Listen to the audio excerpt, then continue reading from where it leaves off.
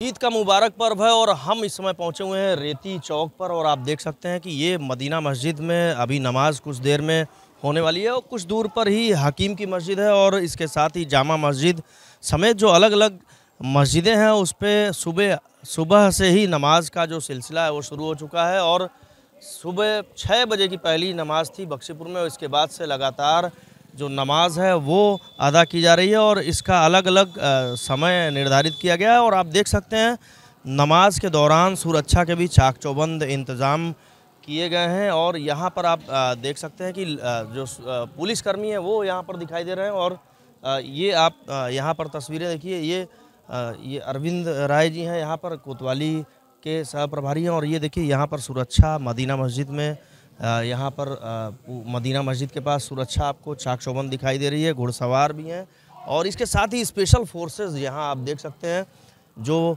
यहाँ पर कमान संभाले हुए हैं, सुरक्षा व्यवस्था की कमान संभाले हुए हैं और शांति पूरी तरह से दिखाई दे रही है। मुख्यमंत्री योगी आदित्यनाथ का शहर होने के नाते यहाँ पर सुरक्षा के काफ़ी पुख्ता इंतज़ाम है। Rajiv Kumar additional city magistrate हमारे साथ हैं, उनसे जान लेते हैं, सर किस तरह से नमाज़ जो आज ईद का पावन पर्व है तो किस तरह से नमाज़ अदा हो रही है और किस तरह के इंतज़ाम?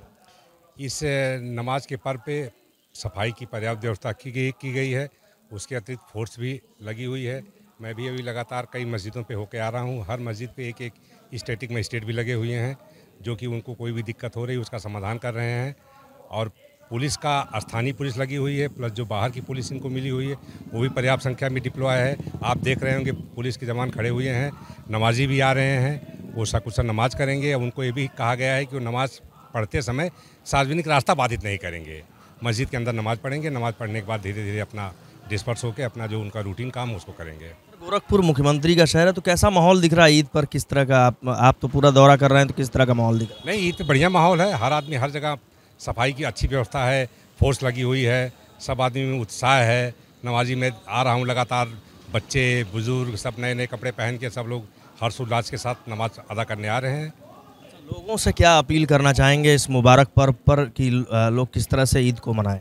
सामान्यतः हर पर्व में जो व्यवस्थाएँ होती हैं कि लोग सौहार्द बनाए रखें भाईचारा बनाए रखें अमन चैन बनाए रखें अपना त्यौहार हँसी खुशी से मनाएँ किसी को कोई बाधा ना होने पाए। ये ज़रूर ध्यान रखा जाए कि अपना त्यौहार मनाते समय कोई बुज़ुर्ग है महिला है वृद्ध है बच्चा है तो उसको किसी तरह तर, किसी तरीके तकलीफ़ नहीं होनी चाहिए। वही असली पैगाम देना है।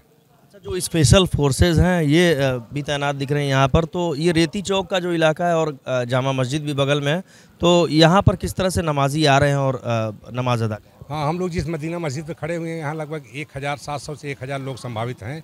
ये जो कि बड़ी मस्जिद है, बड़े इलाके हैं, आसपास कई मस्जिदें हैं, इससे सुरक्षा का प्रबंध यहाँ थोड़ा बेहतर किया गया है। और जो जहाँ पे कम लोग संख्या में आ रहे हैं, जैसे मैं अभी इधर बक्सीपुर साइड से आ रहा हूँ वहाँ भी फोर्स पर्याप्त है, लेकिन यहाँ फोर्स का डिप्लॉयमेंट और बेटर किया गया है। देखिए फोर्स का डिप्लॉयमेंट भी किया गया है और जो स्पेशल फोर्सेज फोर्सेज हैं, उनको भी यहाँ सुरक्षा में लगाया गया है। चूँकि अलग अलग मस्जिदों में अलग अलग समय पर ईद के मुबारक मौके पर नमाज़ अदा की जा रही है और इसकी शांति व्यवस्था बनाए रखने के लिए जिला प्रशासन के आला अधिकारियों के साथ पुलिस के आला अधिकारी भी जुटे हुए हैं। Neeraj Srivastava ABP live Gorakhpur.